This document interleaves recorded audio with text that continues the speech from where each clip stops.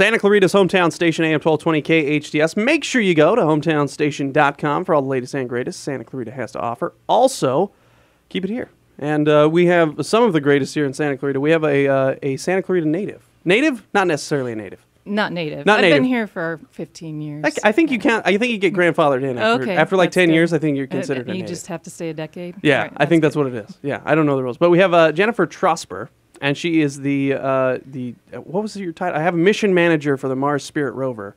Yeah, I'm on an old article, but you have a new title. currently the deputy project manager for the Curiosity rover that's on Mars. Oh, that's on Mars right now. Mm-hmm. Oh man, that's so cool. That is so cool. Uh, but we're doing a little profile thing. You live here in the Santa Clarita Valley, Yeah, we live in Canyon Country, live in Canyon Country, and uh, you have lived here. You said for 15 years. on and off. My husband's military actually, so we went to D.C. for a while and then Oh, came back here. So Okay. So, but you've been here. How do you like Santa Clarita for the last 15 years? I love Santa Yeah. Clarita. What, what brought you here in the first place? Uh, my job, I, I uh, actually grew up in Ohio and then went to school in Boston and then uh, had the opportunity to interview for the Jet Propulsion Lab and got hired out of college. And so that was kind of the dream of a farm girl from Ohio to go work at the Jet Propulsion Lab. And so I came out here and, uh, and that's what brought me to Pasadena. And then when I married my husband, who is at Edwards Air Force Base, uh, Santa Clarita, in fact, Canyon Country was exactly halfway middle. between Edwards Air Force Base and uh, Pasadena, California. So that's what brought us here. Awesome. So, okay, so you're grown up in Ohio. Yeah. Yeah. Do you have? Are you like doing bottle rocket stuff? Or what? What got you interested Oh. in, in this type of stuff? Yeah, I actually raised animals and I worked in the fields and I did what every Ohio farm girl does. But my dad had previously, when in the 50s, my dad was actually in the Army Corps of Engineers and he worked at White Sands and he worked on the early Thor missile down at, um, at the Cape. And so he had these pictures and these stories of, of the very beginnings of when we, the space race really. And so he, um, he inspired me to do that. I liked math and science. I also liked music, and uh, I think when Dad heard I had the opportunity to go to MIT and interview at JPL, he really encouraged me, as did my mom. They they basically didn't set any limits on a farm girl from Ohio and said, "You want to go land rovers on Mars? Go for it." You know. And so, uh, you so you went straight from, From Ohio, Ohio to, MIT. to MIT. So we're just a small school in, in Boston, right? I didn't Just a- actually even know what it was at the time. Oh, really? And, and I got a flyer, and my dad said, you know, you should, you should apply. and uh, and then uh, another Ohio native came to our house and interviewed us. And I always joke that I think I got into MIT based on the fact that that guy really hit it off with my dad, and my dad just talked. You know, That's he showed him videos of me in the high school musicals and and everything. And so. My dad helped me get into MIT, as did my mom. So I think it was the high school musicals. Is what is what put you over Nellie. Forbush, yeah, that was probably it. perhaps. That was probably it. Uh, okay, so you're at MIT, and how was your experience at MIT? Which is a you know for people that don't know, it's that's the you know for math and science that's the I don't know the Olympics. I don't even know. I- how to I would like to say- MIT is the MIT of of math and of science. engineering Yeah, exactly. Yeah, I mean, I, I can say it because I'm an MIT alum. I think it's the best. And the thing I really liked about MIT was it was hardcore engineering. We were learning how to problem solve, not just solving problems. And so there's a little bit of a, a difference. there is a there is a big difference. In that. And uh, they, they taught you how to, you know, start from knowing nothing to taking huge problems and, and figuring them out in pieces. And uh, the other thing I loved about MIT was they had a lot of sports. We were Division three, so um, and I was able to play volleyball because I'm only five five. So any other school, Division two, did you, Division play, one, did you play libero? We did not play libero. Our big competitors were No, the the position isn't Oh libero. no! You know what? I played. that? Is that- is I that a- played. I played volleyball before that position Oh, existed. okay. I don't want to say much That's about my okay. age. I blew it because that's I the only thing I know about volleyball. I was a setter. I was a setter. Okay, I I know. was- I, yeah, okay, I knew what a setter was. Yeah. Okay, okay. So you got to play volleyball. I played Sorry, volleyball sidetrack. for four years, and uh, and then I also I think I played softball. We there was just a lot of opportunity to do other things at MIT, which was great, and the community is wonderful, and Boston's a great city. So I have nothing but great things to say about my experience there. I didn't know that about MIT. I thought they were just like a bunch of people that just went and did math problems. Uh, to be perfectly honest, I didn't know they had. Most people don't programs. know that, and it's nice that they're in a division where a lot of people play. You know, we even have a football team. Yeah. the Beavers. Oh, yeah. go Beavers! All Yeah. right. Okay, so you you have a, uh a JPL interview. You graduate, or it's while you were still going to school. What was I think it was my senior year. I Okay. did a couple interviews, one with JPL. I was actually thinking about going into the Peace Corps as well, and then I was also thinking about going into the CIA. And uh, turned out that JPL brought me out a couple. I think they brought me out once, and I got a couple offers, and once in, one in system engineering and one in power. And interestingly, the Peace Corps, I kind of wanted to go and do some agriculture and farming stuff, and they wanted me to go and do computer stuff, and so it didn't quite line up. I mean, understandably, they wanted me to go and do Yeah. you know sciencey stuff, you know, and and so I think the JPL offer was just the most appealing to me. And uh, we had been out to Cal. Actually, when we when I played volleyball, we got to come to UCSD and get creamed by their Division three volleyball Okay. team. But we got to see, Ca- and I always loved California, and uh, so it seemed like a neat. Uh, experience to be able to start my career off there. Cool. And so you got to JPL. What was the what were the things you were working on when you first got there? I first got there, and actually, there was a mission that we never flew. So we do a lot of studies of missions that never happen. And there was a, a lunar, actually, it eventually flew. It was a different one. It was a lunar orbiter, um, and it was many years ago. And we were going to go back to the moon and, and orbit. And it probably took about ten years before we actually did do that. But interestingly, when I worked at NASA headquarters, I was the program executive for that lunar orbiter. Um, in between my time here in Santa Clarita.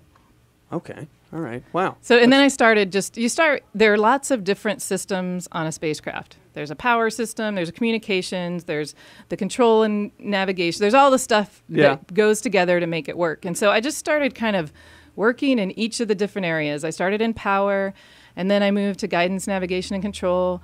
Then I moved into the kind of the command and data handling, you know, the the computer and the software. And then I moved into the operations, and and so I did a lot of things so that eventually I became a system engineer, where you kind of put all the pieces of the spacecraft together. And when we when we flew Mars Pathfinder, which I don't know if you remember, that was back when NASA was doing faster, better, cheaper. Okay. And uh, it was one of the first faster, better, cheaper missions, and it was the first rover we ever landed, the Sojourner rover, the first rover we ever landed on Mars. So I was I worked on that project and was the flight director for operations, and that was kind of my first big role in Mars operations and Mars missions. How, how I gotta ask this because it's popping up in my head. Once that rover lands on Mars, how stressful is it, or is it, or right before it lands on Mars? Because what I mean, there's things like it could tip over or something, right? And Yeah, there were- I mean, there's things in place, but how? Like, are you guys like totally stressed out? I just imagine a room, just a s- giant room of stressed out people. Yeah, yeah. And the interesting thing is, it depends on kind of what time of year you land, but the the time it takes for a radio signal to get from oh. Earth to Mars and then Probably back from Mars to Earth, at that time, you know, it, it can be seven to twenty minutes, right? So so you're sitting oh there, and in fact, for the Curiosity landing, it was I think the the one the round trip light time was 14 minutes, and so in the whole entry, descent, and landing when you hit the atmosphere and you're going 13,000 miles an hour until when you stop on the surface at zero miles an hour based on the parachute and the rockets and all the other stuff you do, seven minutes. Oh my gosh. We call it the seven minutes of terror. But by the time you get any information from Mars, it's already happened. You know, so it's sort of kind of good and bad. yeah, it's good and bad. That's what I was going to say. Yeah. It's like there's nothing you can do.